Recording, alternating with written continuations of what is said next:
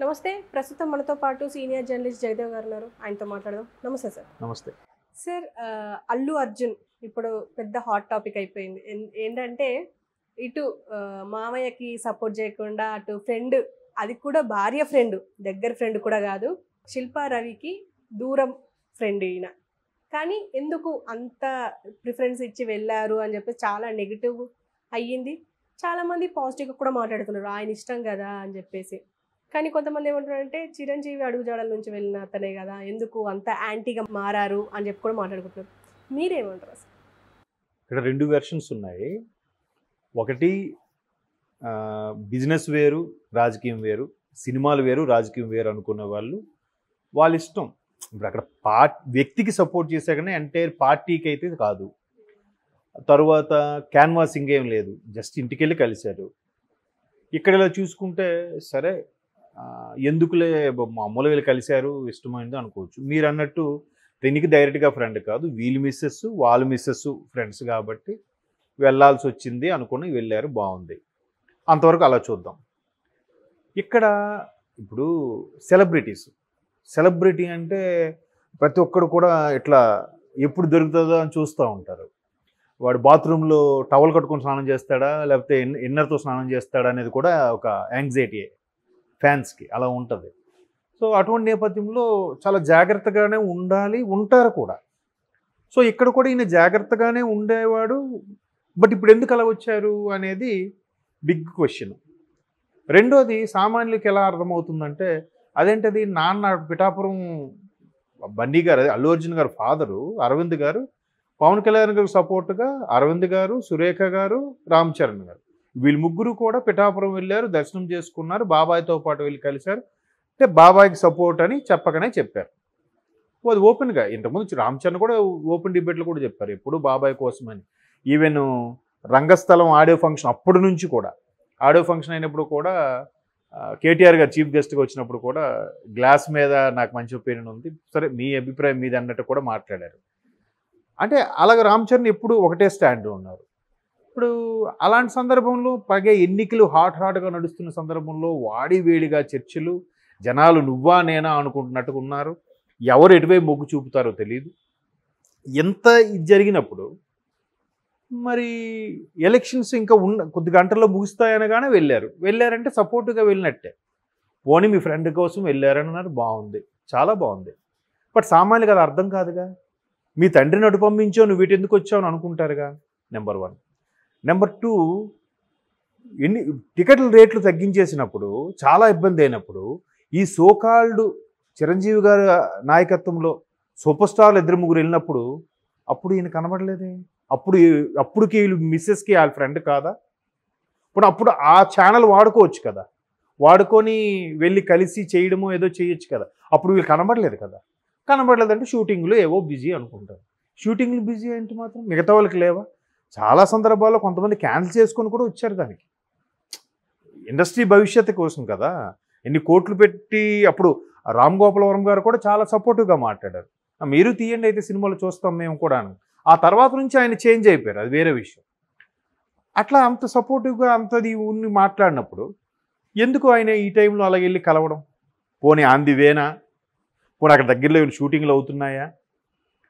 పోనీ ఏవైనా కానీ ఎన్నికలు హడావిడి అయిపోయిన తర్వాత వెళ్ళి కలిస్తే పోనీ ఏదో ఫ్రెండ్ వెళ్ళాడు అనుకోవడానికి. ఈ సందర్భంలో కలిస్తే అసలే సామాన్యులు ఆలోచించిన విధంగా మనం ఎవరం ఆలోచించలేం.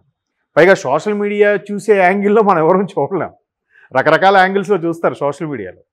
సో అవన్నీ మైండ్లో పెట్టుకుంటే ఆయన వెళ్ళడం అనేది అది ఆయన ఇష్టమే. కానీ ఇప్పటికే కొనిదెల ఫ్యామిలీకి అల్లు ఫ్యామిలీకి ఏవో చిన్న పొరపచ్చాలు ఉన్నాయి డిస్టర్బెన్స్ ఉన్నాయని సోషల్ మీడియాలో కథనాలు కథనాలుగా వినిపిస్తూనే ఉన్నాయి. ఇటువంటి నేపథ్యంలో ఆయన అలా వెళ్ళడం అనేది మరి ఆయనే ఆలోచించుకోవాలి. మరికొద్దిగా వీళ్ళకి ఊతమిచ్చినట్టు అయింది వీళ్ళకి మరికొంచెం రోజు సోషల్ మీడియాలో మరికొద్ది రోజులకి ఫీడ్ దొరికింది కదా. అంతే కదా. ఇప్పుడు ఈయన క్లోజ్ ఫ్రెండ్ అయినా వెళ్ళొచ్చు. కానీ ఇప్పుడు కేటీఆర్ గారు ఉన్నారండి.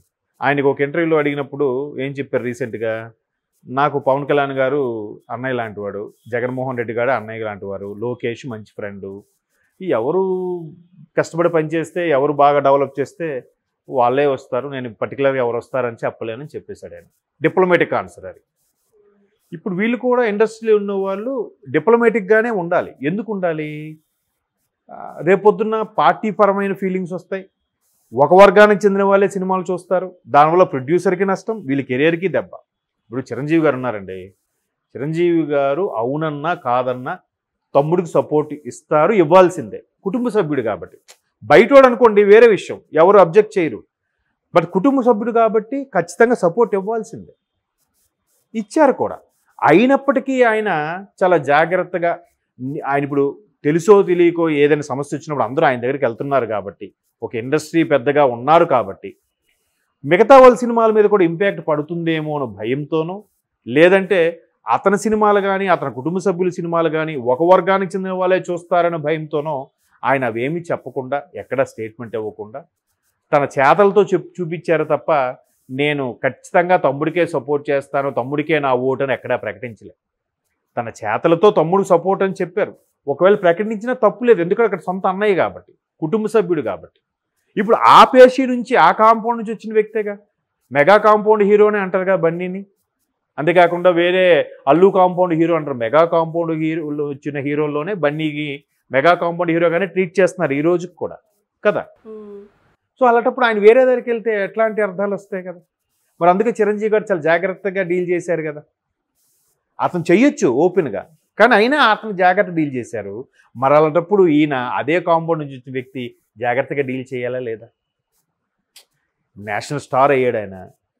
ఆయన ఆయన చాలా సందర్భాల్లో చిరంజీవి గారికి మీరు అన్నారు క్వశ్చన్లో చిరంజీవి గారు ఏదైతే జాగ్రత్తగా చిరంజీవి గారు కాంపౌండ్ నుంచి వచ్చిన వ్యక్తి అని.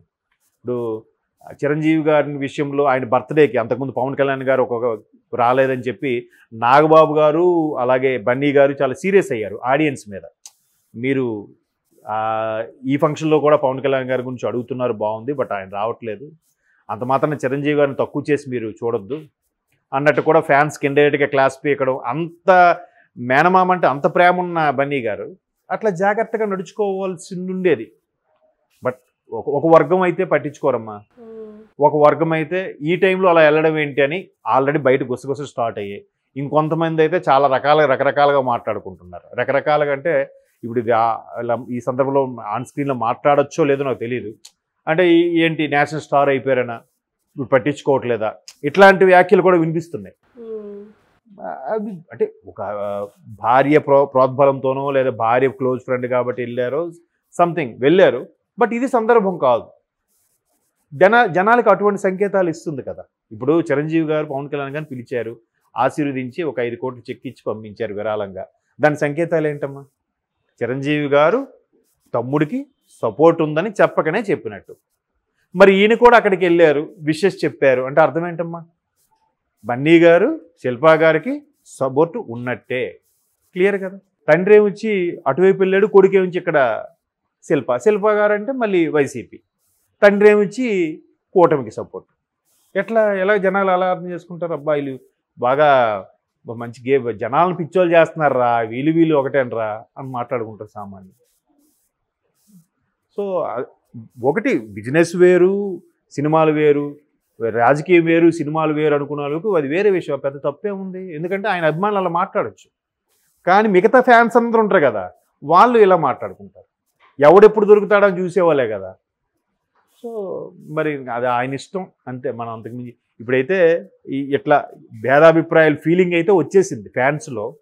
ఫ్యాన్స్లో వచ్చేసింది. ఏదైతే బయట చాలా పొరపచ్చాలు ఉన్నాయట కదా అనే దానికి మరి కాస్త ఆద్యం పోసినట్టుగా అయింది. Okay sir. Thank you